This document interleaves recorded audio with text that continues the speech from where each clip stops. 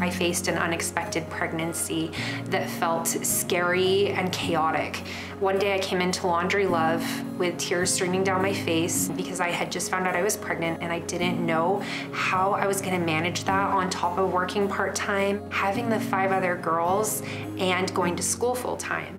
I was at a critical turning point in my life not having a whole lot of friends or sense of community, I felt forgotten at that time and space.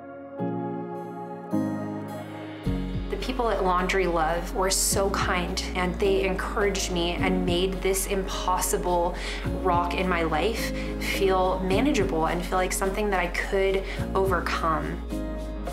My daughter Nora is now three months old. I'm happy to say that she is healthy and so loved and the people at Laundry Love were there the whole way. They tried to orchestrate care for her while I was going to school. They were there for me during the highs and lows of life. I'm not sure how I would have afforded to do my laundry every week. We have a support system that our family didn't have in the past. That support was critical in me being able to get through school as a single parent.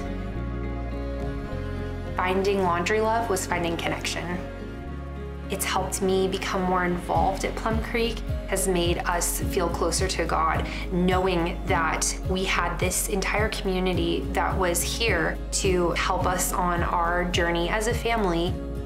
It seems like there's truly a place for my family at Plum Creek through the people who have shown us so much love and care at Laundry Love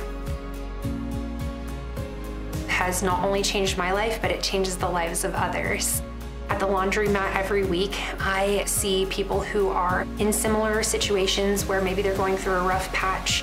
There are people there who are unhoused or underhoused, people who are just at a low spot in their life, and to have the church or anybody come around and wrap their arms around them and be able to give the gift of getting your laundry done is such an incredible gift to those who truly need it. Now that I've graduated both school and laundry love, my plan is to move into a house, begin my new career in a dental office, and pour that love into other people